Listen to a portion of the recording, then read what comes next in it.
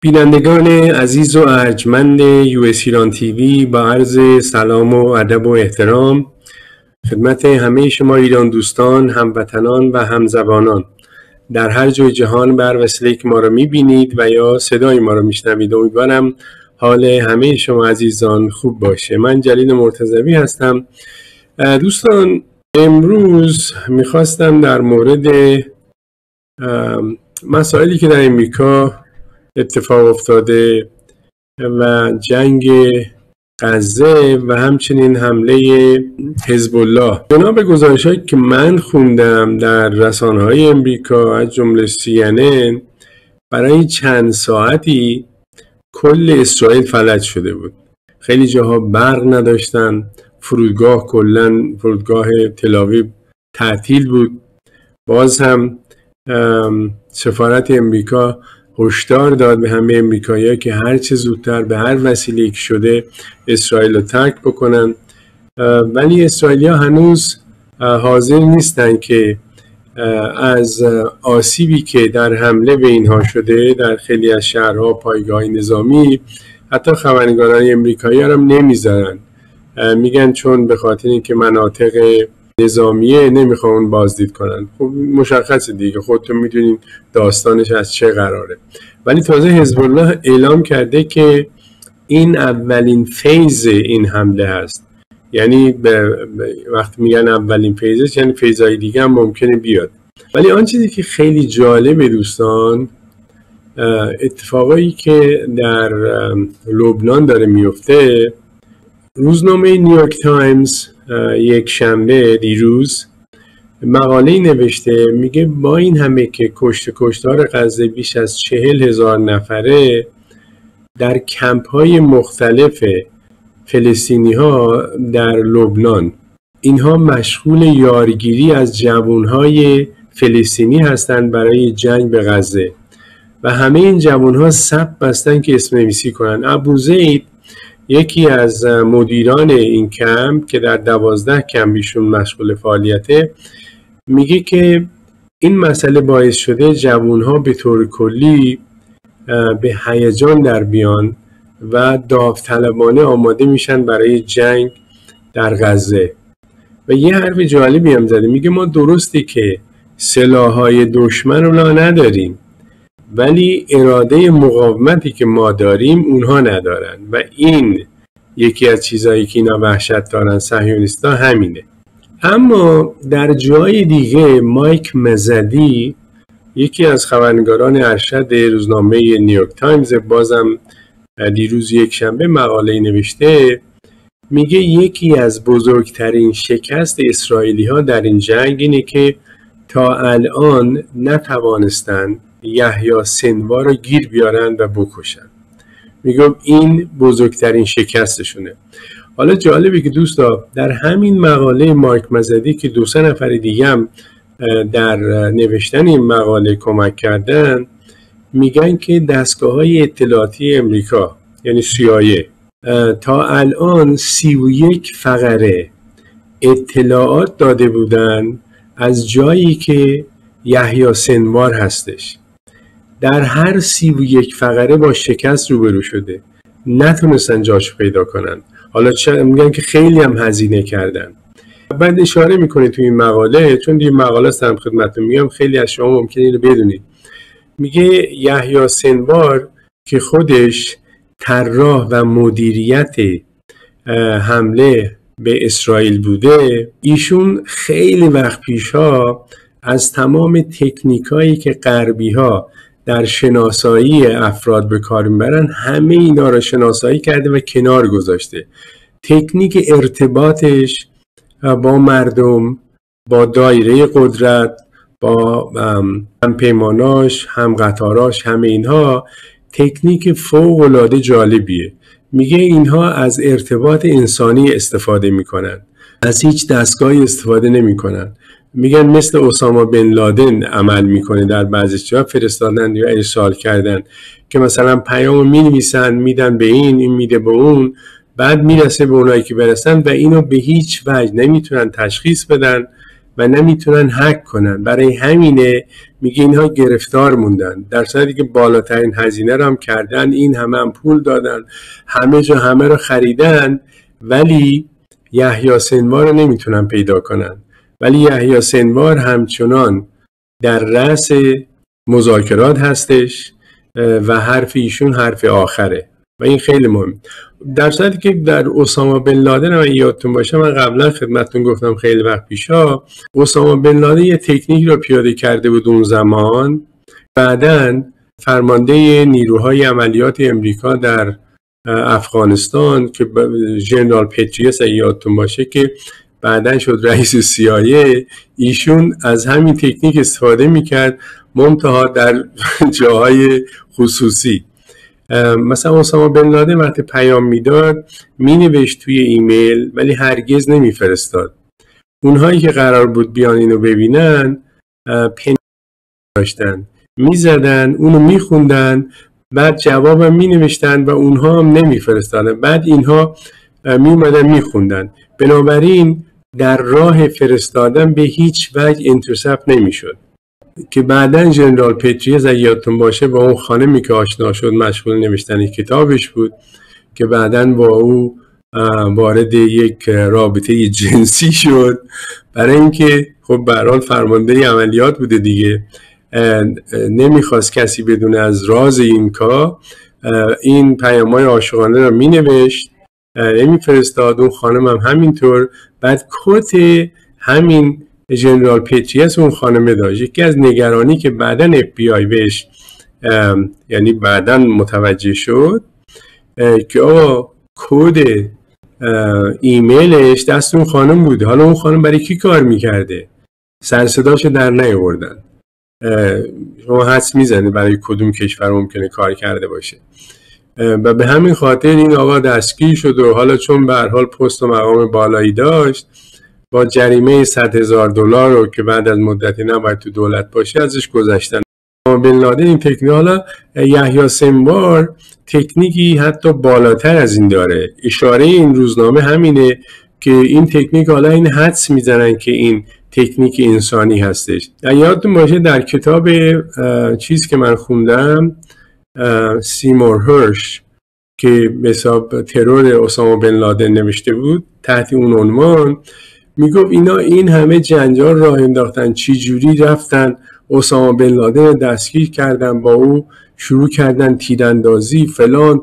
اسامه بن لادن رو بعد از چند لحظه از پای در آوردن اون چندین اسلحه تو اتاق شد. هیچ کدومی سیمور پرش در اون کتاب نوشته که همه اینها چرت پرت و پرت و پلا بوده.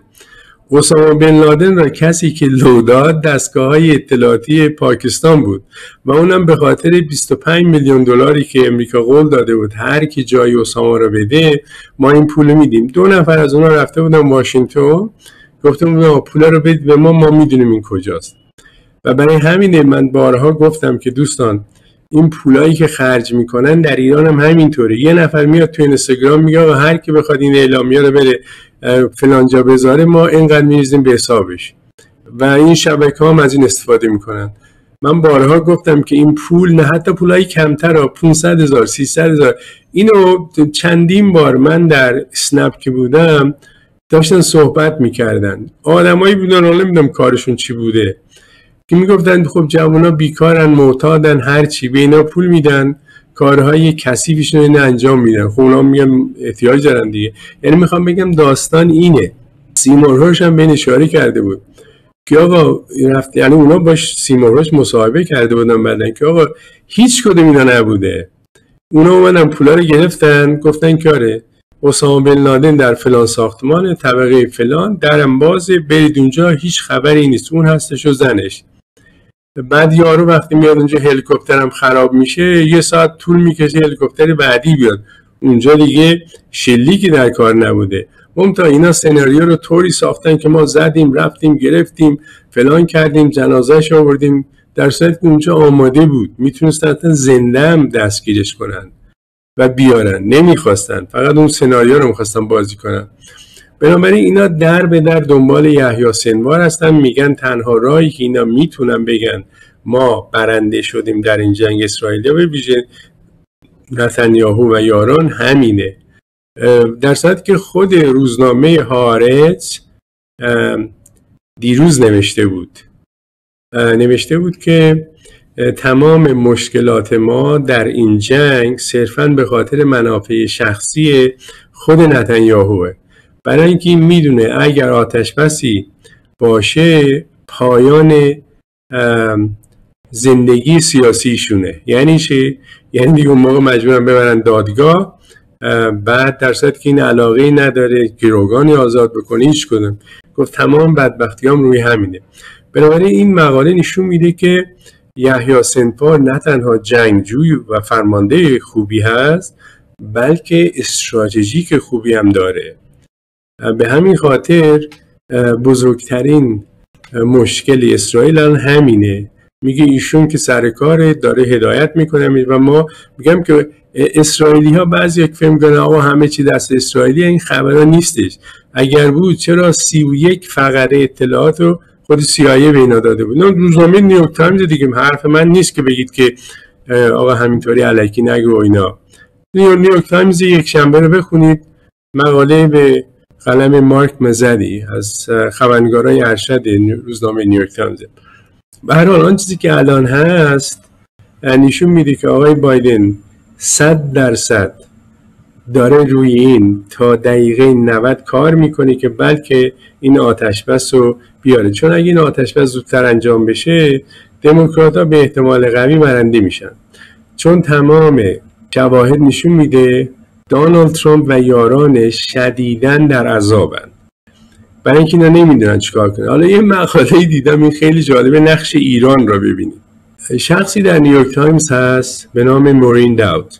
مورین داوت از ستون نویس های نه تنها معروف نیویورک تایمز صاحب چندین کتاب bestseller هم هستش ولی قلم زیبا و تنزی هم داره در ارائه مسائل سیاسی. بعد میگفتش که دانالد ترامپ اینقدر در وضعیت بحران به سر می‌بره چون دید که کاملا هرس و دموکرات ها دارن در پشتیبانی از زنها. سخت جنین چون صاحب رحم خودشون هستن.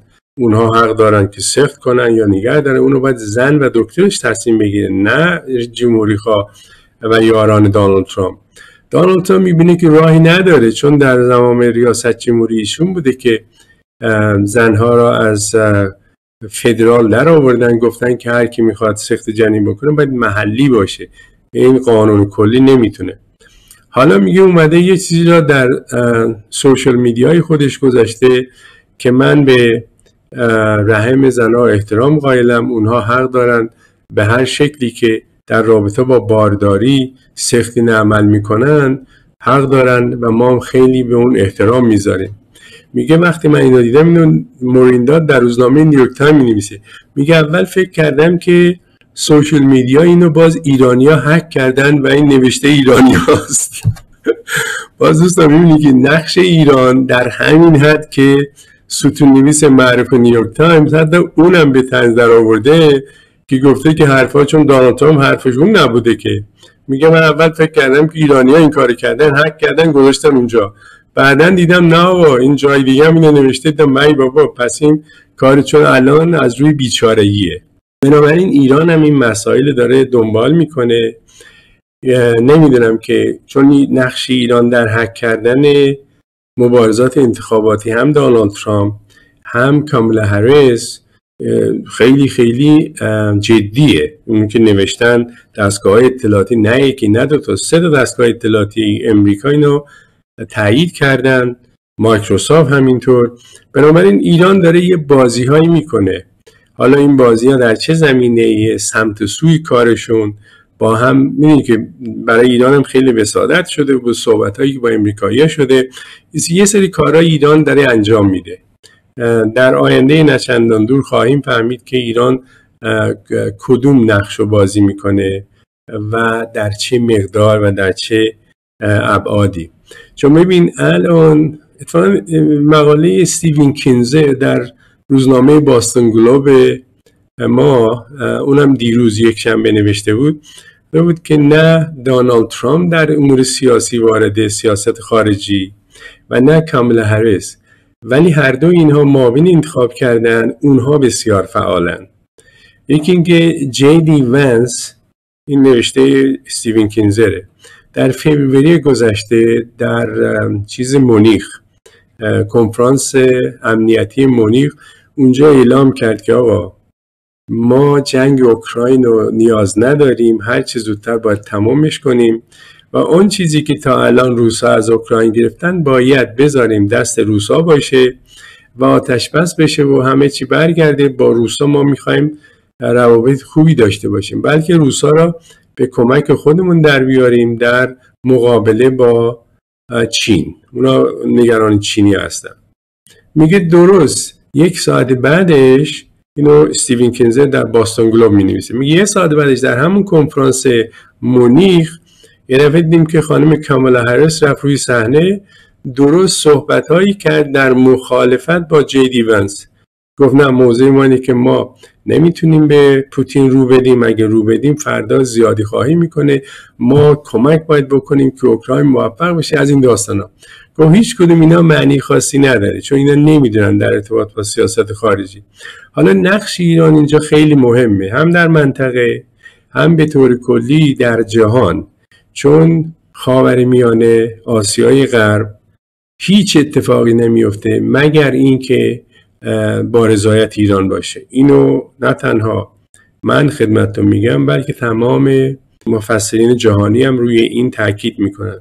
این منطقه دست ایران حالا ما خوشبختانه الان یه وزیر خارجه خیلی دانا و عاقلی داریم به نام دکتر عراقچی.